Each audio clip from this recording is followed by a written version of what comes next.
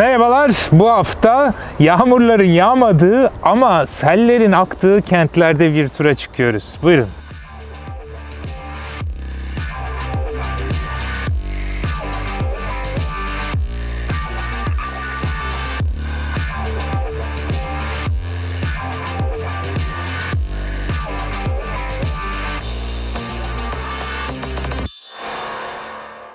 Kültürhane Kent Rasathanesi'ndesiniz. Ben Ulaş Bayraktar. Sevgili Yahya Kuriş ile birlikte yeni bir kent rasathanesinde beraberiz. Bu hafta biraz derelerden, yağmayan yağmurdan ama akıp giden sellerden bahsetmek ve bunların altındaki sebepleri ve buna yönelik olarak geliştirilen politikalar üzerinden bir tura çıkacağız. İzmir örneğin geçen hafta siz de görmüşsünüzdür. Yine bir yoğun yağışın ardından Buca, Karabağlar ve Konak e, ilçelerinde sel afeti yaşandı. Yollar trafiğe kapandı, iş yerlerine su bastı ve İzmir bir afet daha yaşamış oldu. Sadece İzmir değil tabii yoğun yağışlar birçok yerde benzer manzaraları ortaya çıkarıyor.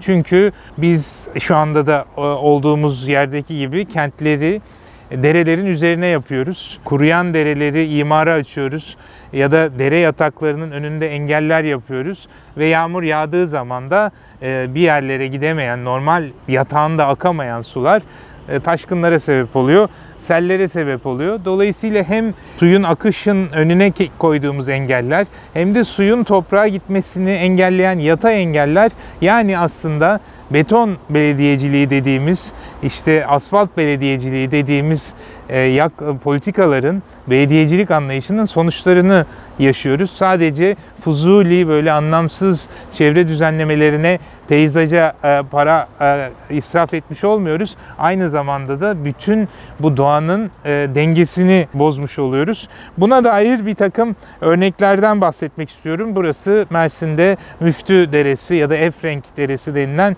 bir dereyin tam da yatağındayız. Yani dereyin içindeyiz şu anda. Çünkü devlet su işleri burada bir ıslah çalışması yapıyor. Hemen köprünün arkasında gördüğünüz yer Mersin'imizin millet bahçesi. Onu bile ayrı konuşuruz ve onunla birlikte burası da bir ıslaha gidiyor. Burası bir fantezidir aslında. Hep böyle efendim Eskişehir'in Porsuk çayı gibi Mersin'in de Müftü Deresi'ni öyle yapsak burada gondollar yüzse, gemiler içeri girse gibi bir fantezi vardır. Buna yönelik bir adım olmamasını umuyoruz ama zaten bu suyla değil gondol karpuz kabuğundan gemi bile yapmanız zor herhalde. Şu anda geçen haftaki yağışların birazcık debisi artmış durumda. Bu kadar bile yok normalde.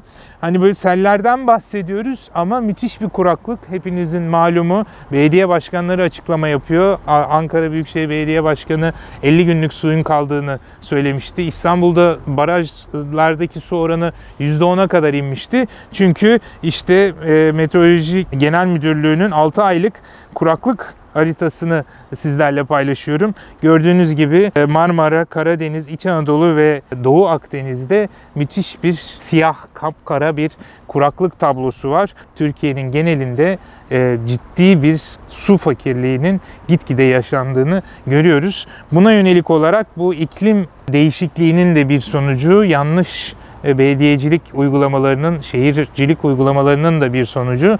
Ama bu tehlikenin bir an önce farkına varıp önlem alınması gerekiyor. İşte İstanbul geçen hafta 1000 metrekarenin üzerindeki parsellerde, kamu yapılarında, alışveriş merkezlerinde ve inşaat alanlarında e, ve 5000 metreyi geçen ticari alanlarda sarnıç zorunluluğu getirdi. Artık yeni yapılarda e, yağmur suyu toplayacak, çatı ve zemin sularını toplayacak bir sarnıç zorunluluğu var.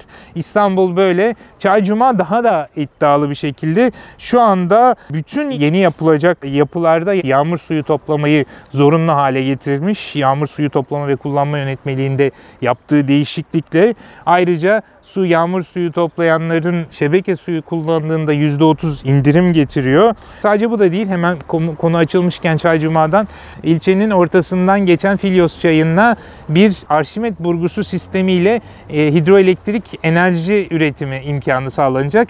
Bu normal bir HES değil.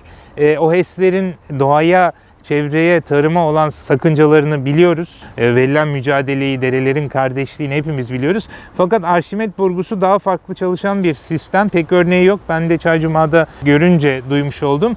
Bir burgu sistemiyle orada balıkların, o bütün canlıların geçmesini sağlıyor. Aynı zamanda bir tünelle ters istikamette de e, gidip yumurtlamasına imkan tanıyor.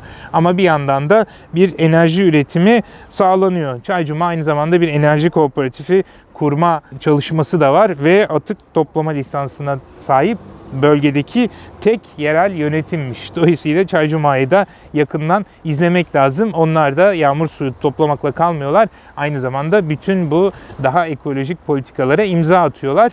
Yere batan sarnıcıyla ilgili haberler belki sizlerin de kulağına çalınmıştır. Daha Aralık'tan beri devam eden İstanbul Büyükşehir Belediyesi'nin bir takım açıklamaları vardı. Çok acilen orada restorasyon çalışması yapılması, daha doğrusu yürütülen restorasyon çalışmasında çok ciddi bir sıkıntı olduğunu ifade etmişlerdi. Bu kadar büyük bir tarihi hazine, bu kadar bariz bir tehdit altındayken ilgili kurumlar gerekli çalışmayı yapamıyor gibi gözüküyorlar.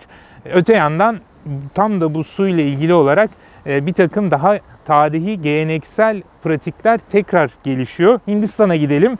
BBC'de Ramya Kushik'in 7 Ekim tarihli bir haberi bu. Hindistan'da geleneksel kuyu kazıcılığı yeniden gündeme gelmiş ve 1 milyon kuyu kazmak gibi bir hedefle yola çıkmışlar. Çünkü Bangalore ya da Bangalore e, Hindistan'ın en hızlı daha doğrusu e, Uzak Doğu'nun en en hızlı büyüyen kentlerinden biriymiş. Bir o yüksek teknoloji merkezlerinden biri Hindistan'ın. Çok hızlı gelişiyor fakat e, su kaynaklarına mesafesi var. Kolaylıkla su elinemiyor ve aynı zamanda daha da önemlisi bizim açımızdan aslında su fakiri değil çünkü çok ciddi yağmur suyu alabiliyorlar muson döneminde ama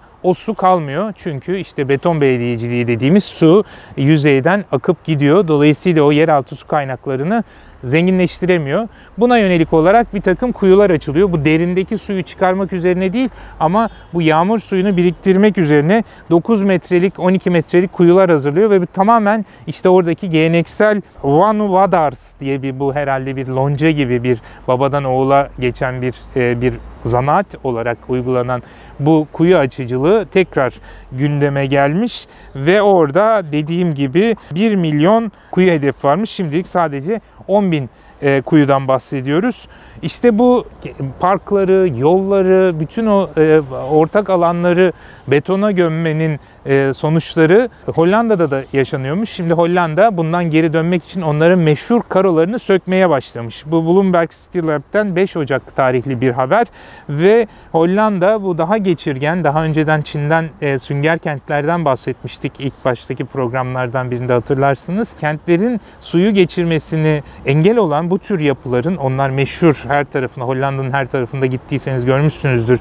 Karolar, karo ile döşeli yolları sökmeye başlamışlar. 2020 itibariyle onların bir karbon emisyonlarını %25 indirme hedefi vardı. O kapsamda yani bu çok aslında o, o, o kadar büyük etki eden bir şey değil fakat halkın da katıldığı, herkesin çevresindeki, evindeki karoları kaldırması için genel olarak bir top, toplumsal bilinçlendirmeye hizmet ettiği düşünülüyor bunun. Ve böyle şehirler arasında bir yarışma başlamış. Rotterdam'la Amsterdam mesela. Ee, işte Rotterdam 47.942 karoyu kaldırarak 46.484 karoyu kaldıran Amsterdam'ın önüne geçmiş ve bütün bu Hollanda'da bu daha geçirgen yüzeylere yönelik politikanın hayata geçtiğini görüyoruz. Hollanda çok önemli bir kent çünkü biliyorsunuz alçak ülke diye bilinir. Deniz seviyesinin 5 metre e, yaklaşık altındadır ve aslında onlar bütün e, ülke bir kanallar e, silsilesi içinde kurulmuştur o su taşkınlarını engellemek için.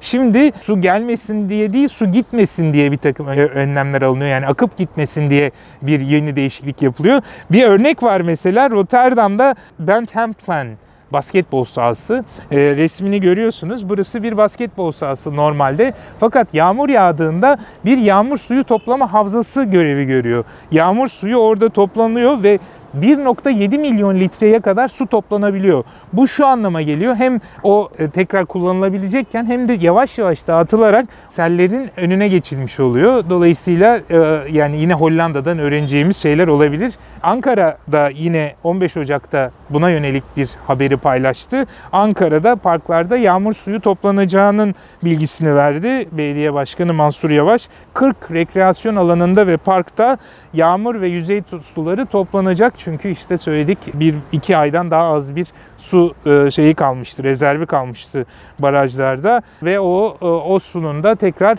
kullanılması parklarda sulamada kullanılması öngörülüyor. Park su toplama teknikleri çok fazla. Su hasadı, yağmur hasadı teknikleri. Çünkü bu artık bir elzem. Öyle ki artık e, su e, ittifakları kuruluyor. Bu Amerika'daki e, bir ittifak hemen şimdi su e, ittifakı bütün Amerika genelindeki kentlerin suyu daha bilge biçimde, akıllı bir şekilde kullanılması için bir araya gelmiş bir birliktelikten bahsediyoruz. Bunun uluslararası bir boyutu var. Uluslararası Su, su Örgütü su bilgesi kentler e, çalışmalarına başladı. Yani su kaynaklarımız limitli, e, sınırlı. Şehirler gitgide yoğunlaşıyor. Yani su azalıyor ama kullanım artıyor ve e, bunun buna yönelik olarak da kentlerin planlanmasına ihtiyacımız var. Su kaynaklarını korumaya ihtiyacımız var. Suya duyarlı kentsel tasarıma ihtiyacımız var. Su havzaları birlikteliğini yani sadece bir kentin değil bir havzanın politikasını geliştirmemiz lazım ve su bilgesi topluluklar yani sadece siyasetçiler, yöneticiler değil halkın ve sivil toplumun da buna ilgilenmesi bekleniyor. Bunun bir örneği Seattle'da yağmur bilgesi kenti diye geçiyor Seattle'da ve e, bir takım örnekler verilmiş. Sarnıç yapabilirsiniz. İşte e, şeyde de görüyorsunuz e, şekilde de herkesin gündelik hayatında buna yönelik olarak çabalarına e, rehberlik ediyor. Sarnıç yapabilirsiniz. Yağmur bahçesi oluşturabilirsiniz. Yani yağmurun akıp gitmemesi için belli bir e, alçak e, zeminde malçla döşenmiş e, bir bir yapı oluşturulması böylece nemi sıcaklığı e, korunması sağlanıyor. Hiç bahçe de yapabiliyorsanız çakıllardan, e, taşlardan bir takım alanlar oluşturmanızı e, tavsiye ediyor. O şeyin yerine beton veya fayans akıp giden yerde. Vancouver bunu bir kampanyanın ötesinde 2019'da bir e, strateji belgesine yani yağmur stratejisi belgesine dönüştürmüş durumda. Yine su kalitesini korumak üzerine sürdürülebilir bir su yönetimi korumak için doğal ve yapılı çevreyi bu yönde iyileştirerek daha yaşanabilir. Yani Vancouver biliyorsunuz dünyanın en yaşanabilir kenti daha da yaşanabilir olması hedefleniyor. Kirliliği engellemek, yağmur suyuyla pis suyu ayırmak böylece yağmur suyunu tekrar kullanabilmek, geçirgen yüzeyleri arttırmak, yeşil alanları arttırmak bu e, sıcaklık adalarını yok etmek ve su hasadı yapmak üzerine bir takım hedefler yayınlanmış durumda. Şimdi bak Seattle, Vancouver bunlar aslında hani bilmediğimiz şeyler değil. Baktığımızda 2017'de e, Çankaya Belediyesi'nin de içinde bulunduğu bir konsorsiyumun bir Avrupa Birliği belgesi, Avrupa Birliği Türkiye Sivil Toplum Diyaloğu kapsamında Peyzaj Araştırmaları Derneği ve İnsani Dünya Derneği ile beraber Çankaya Belediyesi'nin yaptığı bir rapor var. Linkini koyacağım. Tavsiye ediyorum. Yağmur hasadı rehberi yayınlamış durumdalar ve her şey var orada. Teknikler var, örnekler var, iyi pratikler var. Yani hani biz bilmiyoruz da yapmıyoruz değil. Daha vahim biliyoruz. Bunu yayınlamışız. Bu bilgiye sahibiz. Bunu paylaşmışız ve yine yapmıyoruz. İşin vahim tarafı o. Yani cehaletten değil, burada iradi olarak yapılmıyor. Belediyelerin bunu yapmaması için hiçbir sebep yok. Yani bir sebep var ama onu söyleyemiyorum. Yani tabii ki bu parkların e, neden daha su dostu, yağmur dostu olmamasının çok aslında bariz bir sebebi var. Ama onu söyletmeyin bana diyelim ve burada terbiyemizi koruyarak programı bitirelim. Bu hafta programda kitap yok ama aslında kitapçı var. Çünkü İzmir Bostanlı'da yeni açılmış bir sahafı e, paylaşıyorum sizle. Velespit sahaf. Dolayısıyla hem kitap hem bisiklet. Kendilerine e, yollar açık olsun diyoruz. Gerçekten bir delilik bu dönemde bunu yapıyor olmaları. Ama hayırlı olsun. En kısa zamanda yolumuz düşerse e, uğramayı çok isteriz. Velespit Safa.